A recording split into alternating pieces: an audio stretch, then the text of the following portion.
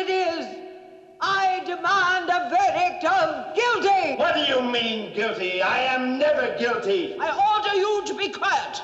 I am never quiet. Quiet in the name of the law. I am the law. My money elects the men who make the law. When they speak, I speak.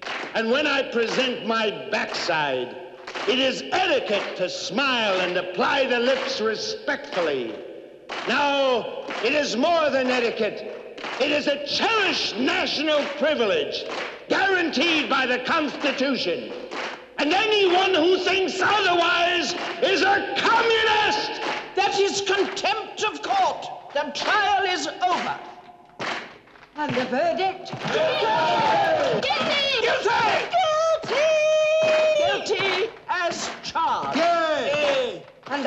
Full authority to carry out the sentence? Yes, Countess! I can do what I like with him?